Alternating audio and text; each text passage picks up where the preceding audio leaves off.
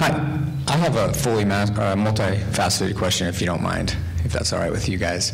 Um, It's like a fourth dimensional question. exactly. We're still only in 3D, though. Well, that's part of my question. Do you have any plans um, beyond 3D for a more immersive experience, such as um, virtual reality or anything along those lines? Um, the second part of my question is, do you think that video games are cheapening the 3D experience? The, or which are cheapening? uh, video games? Oh, video, yeah. Right. And then three, how does this partnership affect Avatar 2 pre-production, and how do, how do I get cast?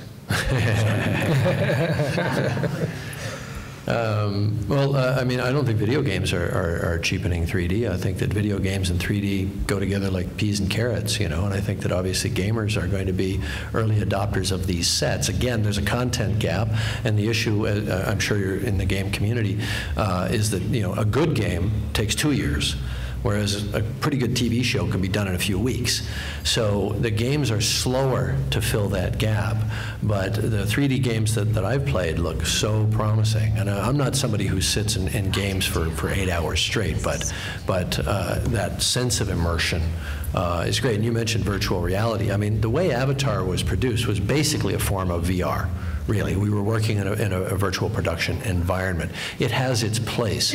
Um, and uh, it's, it's, it's, you know, to me, VR has more, more relevance to, uh, to the gaming mentality than the, um, than, than uh, you know, the exhibition or the display of narrative storytelling.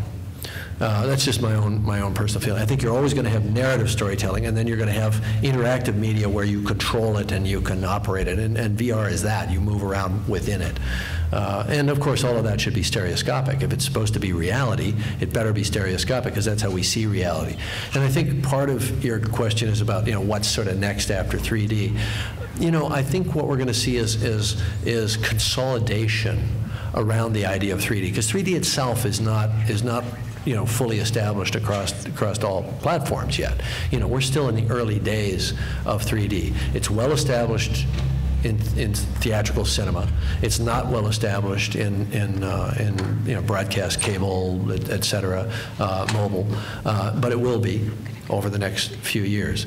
And I think also 3D was kind of the last bastion, the last holdout of our of the way our sensory um, uh, the way we're made up in terms of our sensory system. You know, we see in color, we see in 3D, we hear stereophonically. All of these things took time. You know, uh, first it was black and white, then sound, then sound came. That made a lot of sense.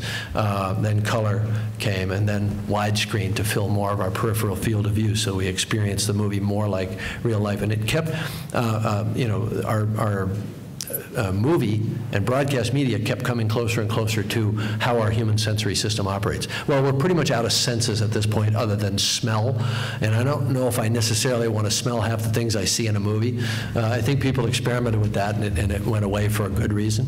Uh, and the other thing is kinesthetic motion, and people are experimenting with what they call 4D, which is hot seats, mo you know, moving seats, and so on. Um, and you know that may have an application for certain types of films, but I don't think you're going to see the kind of broad adoption of that that that uh, that you would for 3D because 3D is basic. It's fundamental. You know it, it's it's a it's a fundamental aspect of, of the way we perceive the world. Um, you know every every animal has a minimum of two eyes. You don't see one-eyed animals. You don't even see one-eyed insects for the most part.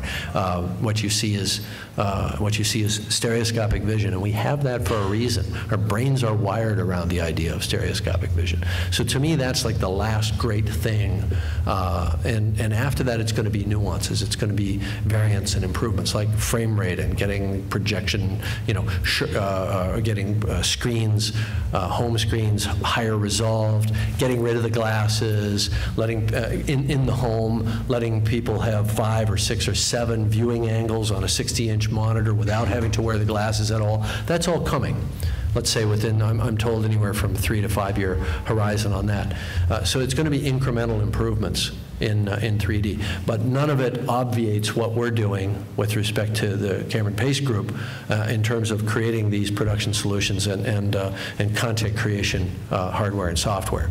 It'll, it'll flow right, flow right to, the, to those screens just in a, in a more and more improved way.